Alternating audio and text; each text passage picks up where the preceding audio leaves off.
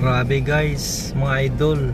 First time ko makarating dito sa may Venice, McKinley Road.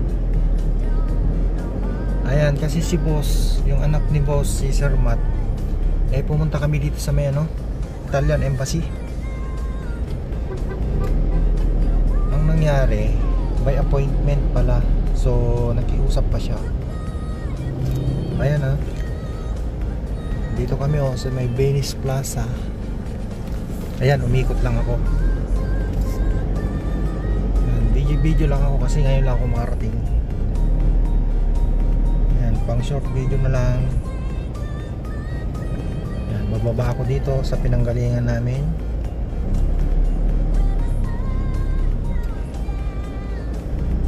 Ayan, balik ko doon sa Italian Embassy. Ayaw pa magpapasok ang mall kasi wala pang time. Kaya yung gwardiya na pinagtanungan ko. Ito pala yung Italian Embassy. Kumanan kami dito. Guys ang ganda dito sa kabila.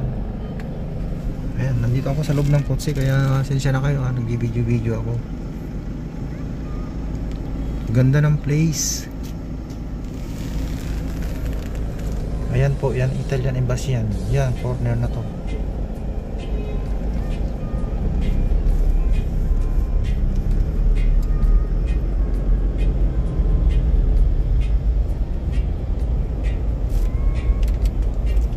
I-hazard ko na lang kasi sandali lang yun. Baka hindi payagan. Nag-inquire lang siya para dun sa visa. Mukhang magbabakasyon sila ng Italia. Ayun guys, dito yung Italian Embassy. Uy, umarang pa siya. Campus Place, sabi niya. Pero makikita doon. Ayun siya, oh. Italian Embassy. Pero nakapasok siya. Ayun, ayun yung si Sir Matt. Kausap ng guard. So, mukhang hindi yata matutulog. By appointment pala. Although kahit mag-inquire ka lang by appointment. Yun yung sabi ng guard. So isang ikot ko pa.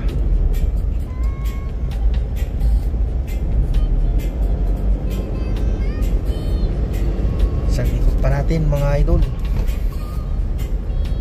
Ito yung kaganapan dito sa Belize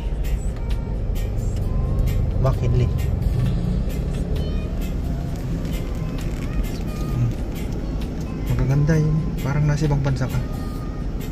Maganda ng lugar. McKinley Hill Stadium. Yan, pasensya na kayo. Dito ako sa loob ng kotse. Paikot-ikot lang. Bibidyo so ito na yung Grand Canal guys. Ito yan.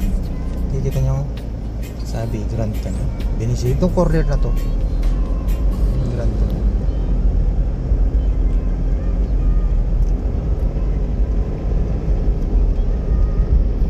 hindi pa nakakarating dito kagaya ko ngayon lang ako makarating dito. So medyo nahilo-hilo ako. Nag-ikot kami doon sa ano bumaba kami ng SM Aura umikot.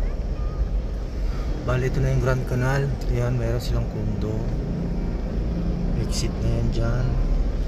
Dito ako mag-iikot si Lali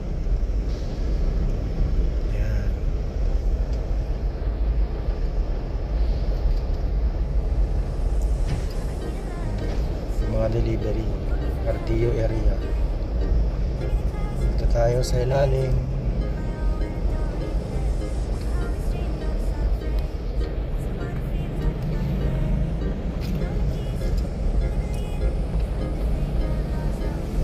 Hindi ko pa napapasok tong loob nito. Wala mang ano time na yung mga iba kasi na nakakarating dito medyo maganda-ganda yung nakikita ko na post nila eh. Mga ibang nagbablog nakikita ko maganda sa loob talaga pag pumunta ka dito sa sadyain hindi pa siya yung isang araw mo yata mag-ipot ayan paikot na naman tayo. So kukuha tayo ng thumbnail. Bali ito yun. Okay. Kukuha tayo ng thumbnail. Mm.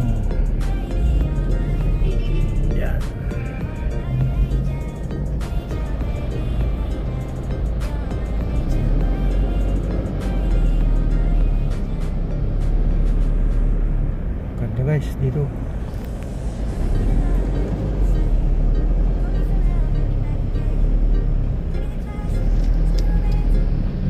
So, bali ito yung plaza.